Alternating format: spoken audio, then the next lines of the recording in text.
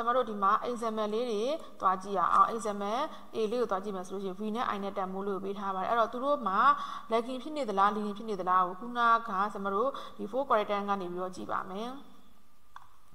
အဲ့တော့ရင်ဆုံး VO ကြည့်ရအောင် VO ကြည့်တတ်တဲ့အခါမှာ plus sign ဖြစ်နေပါတယ်ဒါကြောင့်မို့လို့ဆရာမကဟိုဒီမှာ plus sign reference ထားပါတယ်အဲ့တော့သူက face angle က plus 30 ပါ plus 30 ဆိုတော့ကျွန်တော်တို့က counter clockwise သွားပါမယ် အဲ့တော့ counter clockwise ဒီမှာ plus sign ကို reference ထားတယ်ဟောဒီမှာ counter clockwise သွားပါတယ်ဒါလေးက v လေးရပါတယ် i လို့သွားတဲ့အခါမှာလည်း plus sign ဒီ plus sign လို့ပဲ reference ထားပါတယ်အဲ့တော့သူ့ရဲ့ fixed angle က plus and b ဆိုတော့ plus ဆိုတော့သူက lead direction တိုင်း counter clockwise တိုင်းပဲသွားပါတယ်ဒါကြောင့်မို့လို့ဟောဒီမှာသူက counter clockwise အတိုင်းပဲသူ့ကိုသွားလိုက်ပါတယ်အဲ့တော့ i နဲ့ v နဲ့ကြာမှာရှိတဲ့ angle ဟာ40ဖြစ်ပါတယ်အဲ့တော့ i က v ကို lagging ဖြစ်လား leading ဖြစ်လားကိုစဉ်းစားရအောင်အဲ့တော့ dv လေးကိုဆရာမက reference ထားပြီးတော့စဉ်းစားပါမယ် dv လေးကို reference ထားပြီးတော့ v ကနေပြီးတော့ i ကိုသွားကြည့်လိုက်တဲ့အခါမှာ counter clockwise အနေနဲ့သွားပါတယ်ဘဘာ direction နဲ့ဆိုလို့ရှိရင် leading direction နဲ့ဖြစ်ပါတယ်ဒါကြောင့်မို့လို့ဒီမှာသူက i က v ကို lead ဖြစ်တယ်လို့ပြောပါတယ်အဲ့တော့နောက်ထပ် v က i ကို lead ဖြစ်လားလက်ဖြစ်လားစဉ်းစားမယ်ဆိုရင်ဒီ i လေးကို reference ထားပြီးတော့ကြည်ပါမယ်အဲ့တော့ i ကနေပြီးတော့ဆရာမကဒီ v လေးကိုသွားလိုက်တယ်ဆိုလို့ရှိရင် direction က clockwise direction ဖြစ်ပါတယ်အဲ့တော့ leggy direction ဖြစ်ပါတယ်ဒါကြောင့်မို့လို့ဒီမှာသူက v ဟာ i ကိုလက်ဖြစ်နေရလို့ပြောပါတယ်ဒါလေးကိုဆရာမက sin wave လေးနဲ့စဉ်းစားကြည့်ရအောင် sin wave နဲ့စဉ်းစားကြည့်တဲ့အခါကျတော့ဟောဒီမှာအရင်ဆုံး sin ဒီ omega t 30ကိုကြည့်ရအောင် sin omega t ဆိုလို့ရှိရင် 0ကနေပြီးတော့စဆွဲမှာပါအဲ့တော့ plus 30ဆိုတော့သူရှေ့ကို plus 30တိုးပြီးတော့ဒီမှာဆွဲပါတယ်အဲ့တော့သူကဒီမှာ10ဆိုတာသူ့ရဲ့ p value တန်ဖိုး magnitude ပါ amplitude ဖြစ်တဲ့ကြောင့်မလို့ဒီကနေပြီးတော့သူကဟောဒီမှာ v တွက်ဆိုလို့ရှိရင်10ဆိုတာလေးကိုသူ့ရဲ့ amplitude ဒီမှာ p value လေးကိုတွေ့ရပါလိမ့်မယ်အဲ့ဒီမှာ v ရဲ့ နော် sin wave လို့ရပါမယ် i အတွက်ဆိုလို့ရှိရင်လည်း sin omega t ဆိုရင်ဒီ0ကနေစဆွဲမှာပါဒါပေမဲ့သူ sin omega t မှာ fixed angle ကဘယ်လောက်တိုးနေလဲ80ဖြစ်ပါတယ်ဒါကြောင့်မလို့ဒီ0ကနေဒီဘက်ကို80တိုးပါတယ်ဒီမှာ80တိုးပါတယ်အဲ့ဒီကနေမှသူ့ရဲ့ amplitude က5ပါ5ဖြစ်တဲ့ကြောင့်ဒီမှာ5ကလေးတွေ့ရပါလိမ့်မယ်အဲ့တော့ဒါလေးက i လေးဖြစ်ပါတယ်အဲ့တော့ဒီ curve နှစ်ခုကိုကြည့်လိုက်တဲ့အခါမှာဆိုလို့ရှိရင်ဟောဒီမှာဒါလေးက i အတွက်ဖြစ်ပါတယ် ဒါလေးကတော့ v အတွက်ဖြစ်ပါတယ်အဲ့တော့ကြည့်လိုက်တာ ਨੇ i ဟာဆိုလို့ရှိရင် v ကိုဘလောက်သူကစောနေလဲဆိုရင်ဒီမှာ face သူတို့ different ကြည့်လိုက်တာ40စောနေပါတယ်အားကြောင့်မလို့ဒီမှာရှာထားတဲ့နဲ့တူတူပါပဲ i က v ကို40စောနေပါတယ်အဲ့တော့ဒီ v ဘက်ကကြည့်မယ်ဆိုလို့ရှိရင် v က i ကို40နောက်ကျနေတာကိုတွေ့ရပါလိမ့်မယ်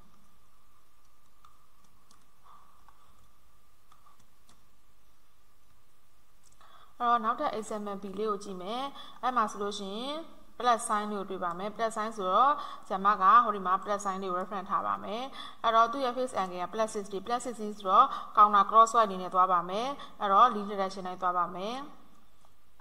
အဲ့တော့ဒီမှာသူ့ကို counter clockwise အနေနဲ့ i လေးကိုဆွဲလိုက်ပါမယ်အဲ့တော့ view ကြည့်မယ်ဆိုလို့ရှိရင် plus sign မှာ plus sign မှာ reference ထားပါတယ်အဲ့မှာသူ့ရဲ့ face angle က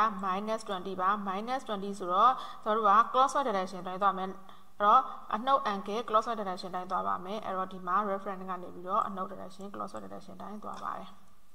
အဲ့တော့ i နဲ့ v နဲ့ကြားမှာရှိတဲ့သူ့ရဲ့နှစ်ခုကြားက angle က80ရပါတယ်အဲ့တော့ i နဲ့ v နဲ့ဟာလက်လား lead လားဆိုတာစဉ်းစားမယ်အဲ့တော့ဒီ v လေးကိုဆရာမက reference ထားပြီးစဉ်းစားပါမယ်အဲ့တော့ v ကနေပြီးတော့ i ကိုသွားကြည့်လိုက်တဲ့အခါမှာ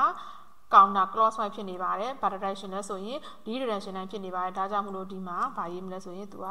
i က v ကို d ဖြစ်နေတယ်လို့ပြောပါတယ်အဲ့တော့ v နဲ့ i နဲ့ကိုကြည့်ကြည့်မယ်ဆိုလို့ရှိရင်လည်းဒီ i လေးကိုဆရာမက reference ထားပြီးတော့ကြည့်ပါမယ်အဲ့တော့ဒီ i ကနေပြီးတော့ဒီ v ကိုကြည့်သွားလိုက်တဲ့အခါမှာဆိုလို့ရှိရင် clockwise direction နဲ့ဖြစ်နေတယ်ဒါကြောင့်မို့လို့ v ဟာ i ကိုနောက်ကျနေတာကိုတွေ့ရပါလိမ့်မယ်လက်လို့ရေးလို့ရပါတယ် ဒါကိုလည်းဆရာမကခုနက sin wave နဲ့ပဲဖြည့်ရှင်းကြည့်ရအောင်အဲ့တော့ sin omega t 60တော့ sin omega t ကိုမှသူက60ပို့တဲ့တကြောင်မဟုတ်ရှေ့ကို60ပို့ပြီးတော့ဆွဲလိုက်ပါတယ်သူ့ရဲ့ magnitude က50ဆိုတော့ဟောဒီမှာသူ့ရဲ့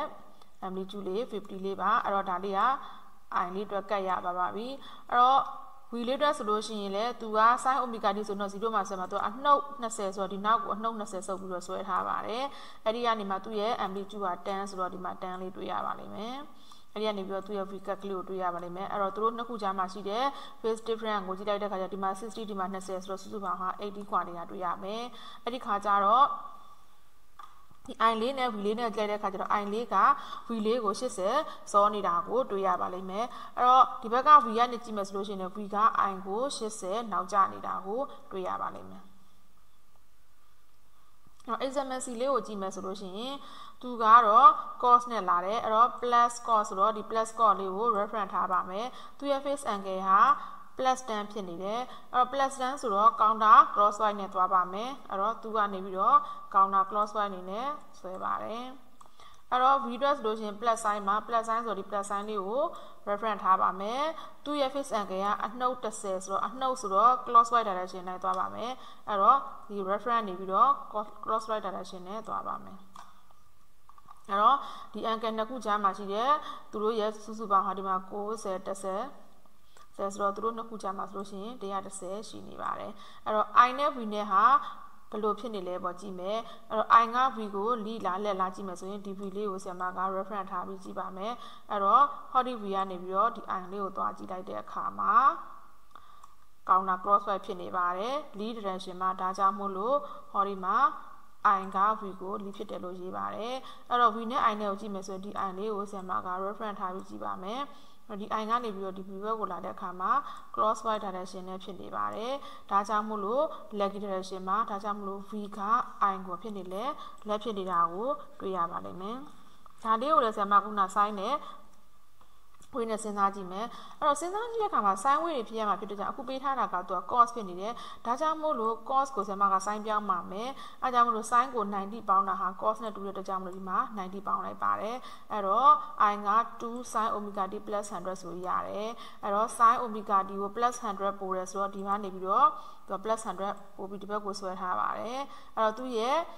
amplitude က2ဖြစ်တယ်ဒီမှာ2လေးကိုတွေ့ရမယ်အဲ့တော့ဒီမှာ i သူ့ရဲ့ i i အတွက် sin wave လို့ရသွားပြီအဲ့တော့ v အတွက်ဆိုလို့ရှိရင်တော့ sin omega t အဲ့တော့သူကအနှုတ်30ဆိုတော့ဒီဘက်ကိုအနှုတ်ကို ဒီဘက်ကိုစုပ်ပြီးတော့ဆွဲထားပါတယ်အဲ့တော့သူ့ရဲ့ amplitude က3ဖြစ်ပါတယ်အဲ့တော့ဒါလေးက v ဖြစ်ပါတယ်အဲ့တော့ဒီမှာ i နဲ့ v နဲ့ကြားမှာရှိတဲ့ face angle လေးကဘယ်လောက်လဲဒီမှာ100 130နဲ့ဆို130ဖြစ်နေတယ်ဒါလေးကိုကြည့်ချင်းရပြီး i ကန်လေးက v ကန်လေးရှေ့မှာစောနေတယ်ဒါကြောင့်မလို့ i က v ကို130စောနေတယ်ဆိုပြီးတော့ပြောလို့ရတယ်ဒီ v ဘက်ကကြည့်မယ်ဆိုရင်တော့ v က i ကို130နောက်ကျနေတာကိုတွေ့ရမှာပါ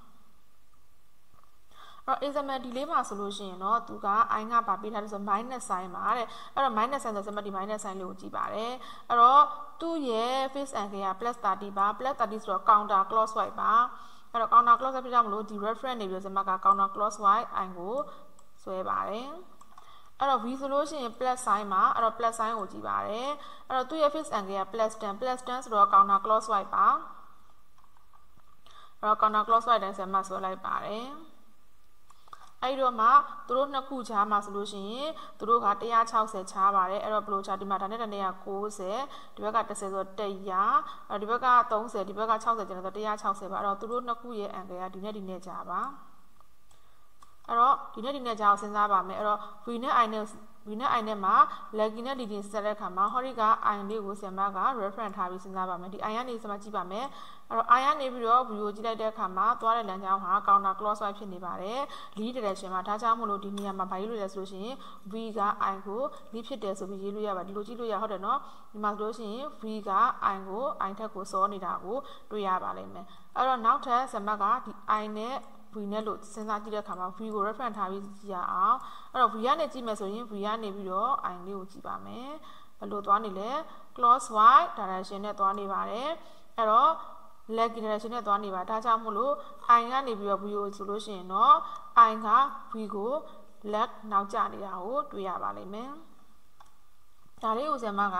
ခုနအတိုင်းပဲ sin ဝေလေးနဲ့စဉ်းစားမယ်အဲ့တော့ minus sin ဖြစ်နေလို့ဆရာမတို့က plus sin ဖြစ်အောင်လုပ်ရပါတယ်အဲ့တော့ minus sin ကို plus sin ဖြစ်ဖို့ဆိုရင် minus 180နှုတ်ပေးရရတယ်အဲ့ဒီခါကျတော့သူ့ရဲ့တန်ဖိုးက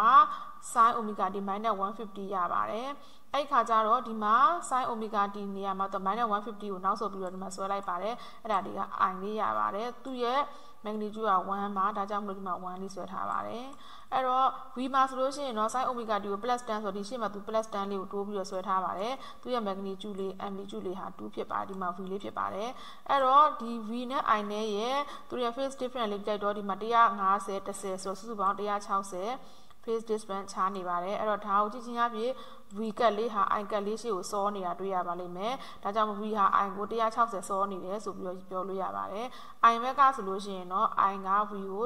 160နောက်ကျနေတယ်ဆိုပြီးတော့ပြောလို့ရပါတယ်အဲ့ဒီမှာသူကထပ်ပြီးတော့ တကယ်လို့ဒီ minus sign ကိုသူက plus sign ဖြစ်နေဆိုလို့ရှိရင် minus 180နဲ့မဟုတ်ဘဲနဲ့ plus 180ထည့်ပြီးတော့ပေါင်းမယ်ဆိုလို့ရှိရင် sin omega t က210ဖြစ်နေပါလိမ့်မယ်အဲ့ဒါဆိုရင်ဆရာမတို့ကသူ့ကိုနောက်ထပ်ကတ်ပြန်ဆွဲပြီးတော့စဉ်းစားလို့ရပါတယ်အဲ့တော့ဆရာမတို့ဒီက sin omega t 210ကိုဒီ cap ကနေပြီးတော့ဒါ cap ဆွဲ ပြင်ပြီးဆွဲလို့ရတယ်ပေါ့ဒါပေမဲ့ဆရာမကဒီ sign ကောကနေပြီးတော့ပဲသွားကြည့်ပါမယ်အစောပိုင်းကဒီ v နဲ့ i နဲ့ကြားမှာရှိတဲ့ angle ဟာဒီကောင်ကနေပြီးတော့ကြည်ထားတာဖြစ်ပါတယ်အခုတော့ဆရာမကဒီဘက်ကနေမကြည့်ဘူးဒီဘက်တစ်ချမ်းနေပြီးတော့သူ့ရဲ့ angle ဘယ်လောက်ရှိလဲကြည့်ပါမယ်အဲ့တော့တန်တက်တန်နဲ့90ဟောဒီမှာ v ကဒီဘက်က9 80ဆိုတော့180ဒီဘက်က30ဆိုတော့အဲ့တော့ဒီနှစ်ခုကြားမှာရှိတဲ့ angle ဟာ200ဖြစ်နေပါတယ်။ ဒါကြောင့်မို့လို့ i နဲ့ v နဲ့ကြားမှာဆိုလို့ရှိရင်200ဖြစ်နေတဲ့အချိန်မှာဆိုရင် i နဲ့ v နဲ့မှာသူကလိလားလှက်လားဆိုတာကိုဆင်မတို့ကစဉ်းစားကြည့်ပါမယ်။အဲ့တော့ i က v ကိုလက်ဖြစ်လားလိဖြစ်လားဆိုရင်ဟောဒီမှာရှိတဲ့ v လေးကို reference ထားပြီးတော့စဉ်းစားပါမယ်အဲ့တော့ဒီကနေပြီးတော့ v က reference ထားပြီးတော့ i ကိုတွားကြည့်လိုက်တဲ့အချိန်မှာ counter clockwise ဖြစ်နေပါတယ်အဲ့ဒီတော့ lead direction တိုင်းဖြစ်နေပါတယ်ဒါကြောင့်မို့လို့ i က v ကို200 lead ဖြစ်နေတယ်လို့ပြောပါတယ်အဲ့တော့ v ကနေပြီးတော့ i ကို lead လာလက်လာကြည့်မယ်ဆိုဒီ i လေးကိုဇင်မက reference ထားပြီးတော့ကြည့်ပါမယ်အဲ့တော့ဒီ i ကနေပြီးတော့ဟောဒီ v လေးကိုသွားပါတယ် အဲ့တော့ clockwise direction နဲ့သွားတာဆိုတော့ lucky direction မှာဒါကြောင့်မို့လို့ v က i ကို200လက်ဖြစ်နေတယ်လို့ပြောပါတယ်ကျမတို့ဒီဘက်ကနေသွားတယ်ဆိုတော့ဟောဒီကသူ့ရဲ့ angle 200ကိုကြည့်ထားတာမို့လို့ဖြစ်ပါတယ်အဲ့တော့ example e လေးကိုတစ်ချက်ကြည့်မယ် example e လေးမှာဆိုလို့ရှိရင် i ကတဲ့ minus cos ပေးထားတယ်ဒါကြောင့်မို့လို့ဇာမကဟောဒီက minus cos လေးကို reference ထားပါတယ်အဲ့တော့ minus 60 ဆိုတဲ့ face angle လေးပါ minus 60 ဆိုတော့ clockwise direction တိုင်းသွားပါမယ်ဒါကြောင့်မို့လို့ဒီ reference minus cos ကနေပြီးတော့ crosswise direction နဲ့ဆွဲပါတယ်ဒါလေးက i အတွက်ပါအဲ့တော့ v test လို့ရှိရင် plus sign ပါအဲ့တော့ plus sign လေးကို reference ထားပြီးတော့သွားပါမယ်အဲ့တော့သူ့ရဲ့ face angle က -150 ဆိုတော့ crosswise direction တိုင်းသွားပါမယ်အဲ့တော့ဒီ sign plus sign ကနေပြီးတော့ crosswise direction တိုင်း -150 သွားပါမယ်အဲ့တော့ဒီနေ့ဒီနေ့က90ဒီနေ့က60ဆိုတော့150ပါ အဲကြောင့်မလို့ဒီ reference နေပြီးတော့ဟိုဒီမှာ -150 ကို cross direction နဲ့ဆွဲလိုက်ပါတယ်အဲ့တော့ i နဲ့ v နဲ့ကြိုက်တဲ့ချိန်မှာသူတို့ရဲ့ face angle တစ်ထပ်တည်းကျနေပါတယ်အဲ့တော့ဒါလေးကိုဘာခေါ်လဲဆိုလို့ရှိရင်တစ်ထပ်တည်းကျနေတဲ့အတွက်ကြောင့်မလို့ v နဲ့ i နဲ့ in face လို့ပြောပါတယ်သူတို့ရဲ့ face angle တွေဟာတူနေပါတယ် အဲ့တော့ဒီဟာလေးကိုဆရာမက sin wave နဲ့ပြန်ပြီးတော့ကြည့်ကြည့်ပါမယ် sin wave နဲ့ကြည့်တဲ့အခါမှာသူက minus cos ဖြစ်နေပါတယ်ဒါကြောင့်မလို့အဲ့ minus cos ကိုဆရာမက plus cos ဖြစ်နေဆိုရင်ဟောဒီက minus 180ထည့်လိုက်ပါမယ်ဒါဆိုလို့ရှိရင် plus cos ဖြစ်သွားပါတယ်ဒါပေမဲ့ဆရာမတို့ sin wave တွေကိုနှိုင်းရှင်တဲ့အခါမှာ cos ဖြစ်အောင်သွားရပါတယ်ဒါကြောင့်မလို့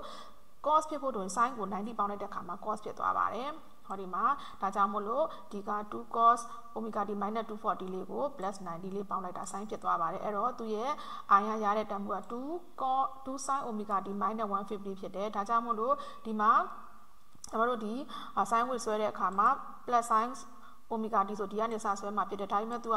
-150 ဆိုတော့ကြောင့်မလို့ဟောဒီမှာ150နောက်ဆိုပြီးဆွဲလိုက်ပါတယ်သူ့ရဲ့ amplitude ဟာ2ဖြစ်ပါတယ်ဒါကြောင့်မလို့ဟောဒီမှာ i ရဲ့ amplitude ဟာ2လေးပါအဲ့ရနေပြီးတော့စမက i ရဲ့ sin ဝင်လေးကိုရမယ်အဲ့တော့ VR ဆိုလို့ရှိရင်လည်း